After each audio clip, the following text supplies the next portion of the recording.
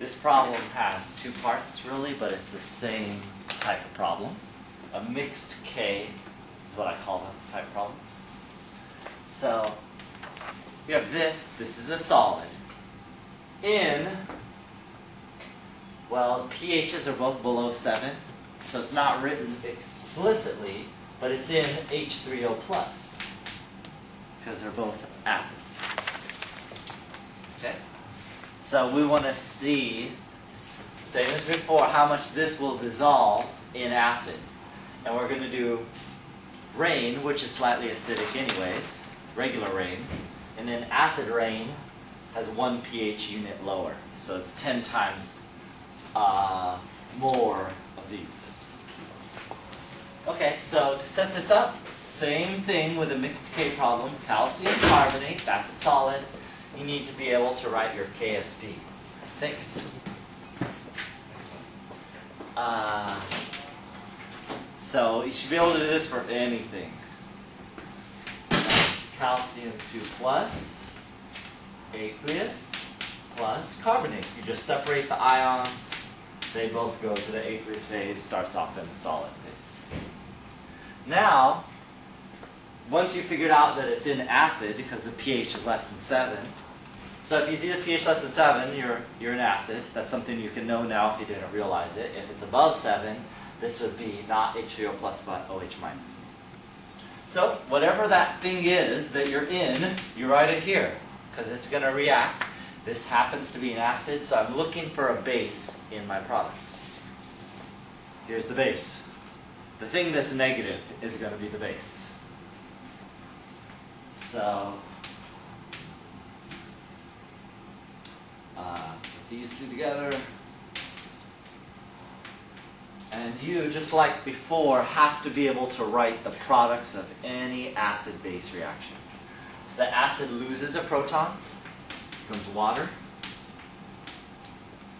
The base gains a proton.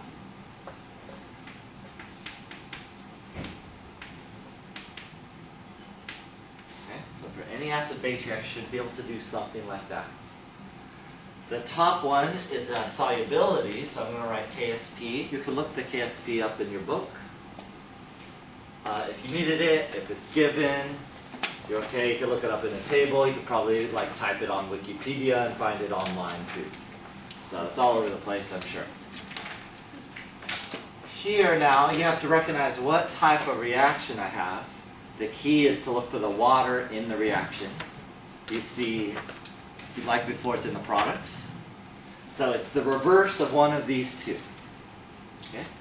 So you just have to figure out, okay, is this an acid or base?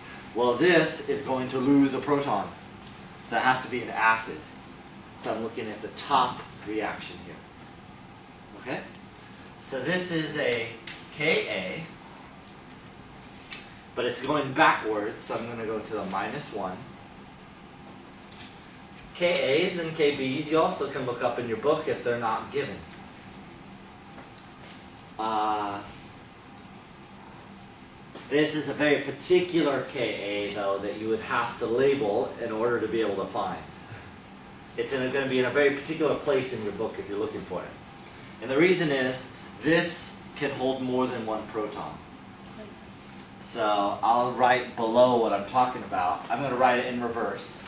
That comes from carbonic acid, which plus water goes to HCO3 plus H3O plus. That's the first loss of the proton, and that's called a Ka1. The second loss of the proton takes that thing in the products, plus water again, goes to CO3 2 minus plus H3O plus Ka2. So you'd have to recognize this as a polyprotic acid. That's the key because this is not just Ka, it's Ka2. So this is the reverse of the Ka2 reaction. Okay? That's what you'd have to figure out. So now I'm going to erase this on the bottom. Is that okay? Now, once you get used to like, oh, that's a polyprotic. So when you look it up in your book, you have to go to the polyprotic section in your book, and that's where it'd be listed. So you have to say, oh, when I add this up now, just like before, the thing that's in both reactions will cancel. That's really going to be an intermediate.